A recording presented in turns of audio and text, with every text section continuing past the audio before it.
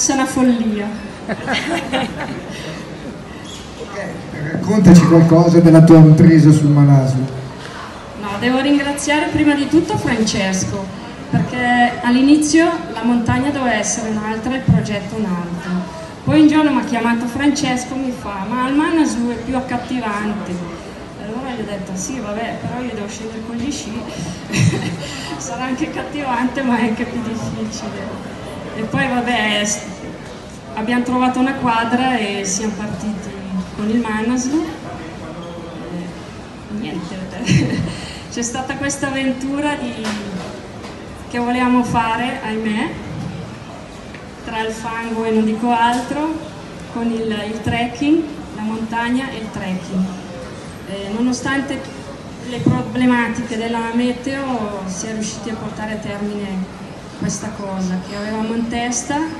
Eh, io vabbè sono un po' più testarda, lui è un uomo, quindi un po' meno. Niente, ci siamo divertiti alla fine tutti quanti, anche con polacchi, con gli spagnoli, con gli altri due italiani che erano rimasti, con altre persone che ho conosciuto nel campo base. La montagna, vabbè, è mutata tantissimo negli anni, come mi hanno raccontato gli Sherpa. Era un po' più semplice negli altri anni. Quest'anno, infatti, i primi Sherpa sono saliti il 22 e 23, mi sembra settembre, ma non sono riusciti a mettere tutte le fisse, quindi era più impegnativo ancora, perché la problematica della tanta neve, la problematica del ghiaccio ha avuto problemi anche loro logistici. Tutto il resto avete letto su Facebook, sui social, quindi non sto qui a farmi tante menate ancora. Hai accennato alla, alla, alla particolarità di questa impresa, quindi la salita a piedi e la discesa con gli sci.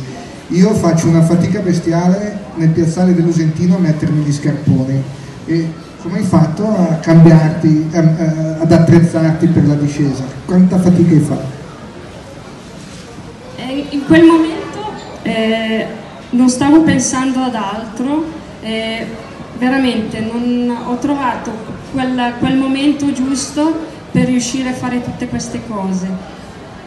Sapete già più o meno il messaggio che volevo lanciare, quindi eh, volevo veramente fare questa cosa per tutte le donne. Brava! Brava.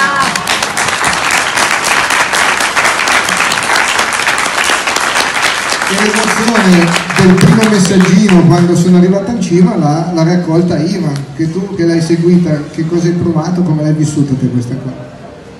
Sì, è stata un'emozione molto forte, abbiamo seguito tutta la, la spedizione e il messaggio l'ha mandato alla 1.55 di notte eh, tramite un telefono satellitare e la cosa bella è stata che noi abbiamo un gruppo Whatsapp c'è dentro Sara, Valeria, eh, Giorgio, eh, Alex, non voglio dimenticare tutti. E, in quel momento quando lei ha mandato il messaggio che era arrivata in cima, io l'ho girato subito all'interno del gruppo e alla 1.55 erano tutti svegli e rispondevano, quindi vuol dire che tutti erano in tensione per, per questa cosa. È stata veramente un'emozione grande. Allora, sentiamo qualche cosa su questa attrezzatura, Fabrizio, che, che cos'hanno di speciale questi sci? Io non ho niente di speciale, però è il progetto di Cristina che è speciale e che rende speciale questo prodotto. Vi racconto un piccolo anteprima. Cristina è una persona di una timidezza assoluta.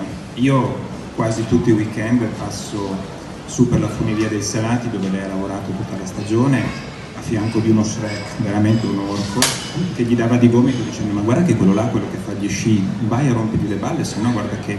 E lei timidissimo dice ma sì, ma sì, prima o poi, prima o poi, finito un giorno io mi fermo a prendere un ginseng, che adesso è diventato un rito, e lei mi dice ma sai io avrei in mente di fare una cosa con gli sci, tu fai gli sci, ti piacerebbe? Ah sì, cosa vorresti fare? Ma vorrei forse fare il management con gli sci e io da totale imbecille no? perché non volevo proprio dare troppo peso alla cosa. No, no, interessante. Ma che interessante cosa. Cioè noi siamo dei, veramente dei piccolissimi e Cristina ci ha portato in alto. Molto in alto. Poi chiaramente c'era un progetto dietro e, che è questo il, del Pink Lady, questo sci rosa.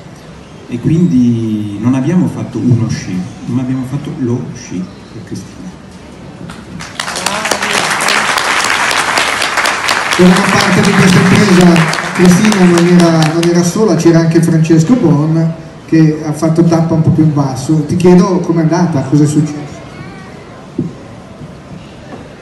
Salve a tutti, eh, sì, la mia impresa si è interrotta a 20 minuti da campo 2, come mi ha ripetuto più volte Cristina, sono un po' un ciuccio perché ho preferito poi fare 4 ore e mezza a scendere piuttosto che farne 20 a salire, eh, però in quel momento il cervello fortunatamente ha avuto la supremazia un po' su tutto e sono qui con voi forse anche per quel motivo lì, magari poteva anche andare peggio, quello non lo so, però col senno del poi è andata bene così, mi sono divertito, è stata una bellissima esperienza e di fianco a me c'era Cristina, quindi l'esperienza parla da sola e ci siamo divertiti un sacco, anche cambiati risate a crepapelle, quindi è stata comunque una bellissima esperienza, una bellissima avventura e l'anno prossimo cercherò di, di, fare qualcosina un po' più basso per aumentare l'esperienza e poi successivamente ritenterò il mio sogno di arrivare in cima